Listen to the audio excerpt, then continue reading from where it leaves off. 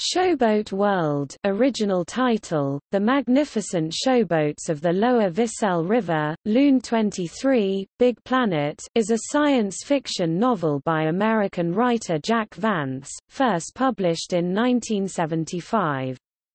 It is the second, standalone novel in a pair of novels the first being Big Planet that share the same setting, a backward, lawless, metal-poor world called Big Planet.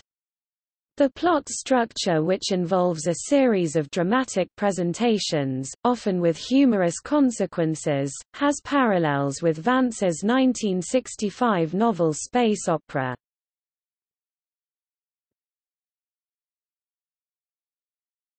Topic.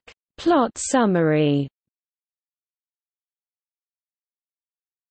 Showboat World follows the farcical adventures of Apollon Zamp, owner of the showboat Miraldra's Enchantment, and his troupe of acrobats, magicians and actors. Zamp is invited by the king of Soivanes to travel up the river Vissel to the distant city of Mornone, there to participate in a contest. A rich prize awaits the showboat captain who stages the most spectacular performance and succeeds in entertaining the king. The mysterious, attractive damsel Blanche Aster accompanies him up the river for her own reasons. Zamp loses his ship through the machinations of his chief rival, Garth Ashgale, captain of the showboat Firenzel's Golden Conceit.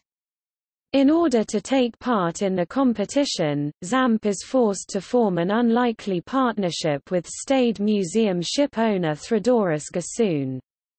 Both men attempt to woo the unimpressed damsel Blanche Aster during the perilous journey.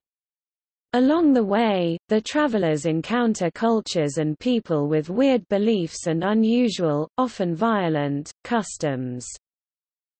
At least one scene was influenced by the Royal Nonsuch acting troupe episode in Adventures of Huckleberry Finn, while Showboat World itself has strongly influenced The Wizard of Karres 2004 by Mercedes Lackey, Eric Flint and Dave Freer.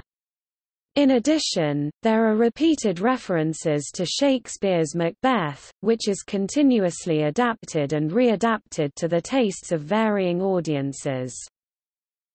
When they finally arrive at Mornone, damsel Blanche Aster reveals herself to be the rightful ruler, only to have her claim trumped by the unwitting Gossoon, when he appears in a decrepit costume that confers the throne on him. Gossoon marries the reluctantly acquiescent Blanche Aster and richly rewards Zamp for his part in his elevation. Gossoon gives Zamp his boat, having no further use for it, and Zamp leaves with the boat and crew. When the costume falls apart, Gossoon flees with a bag of jewels and is able to catch up with the boat, which he reclaims. Both men are now wealthy. Zamp will build a new showboat while Gossoon will resume his role as proprietor of a museum boat.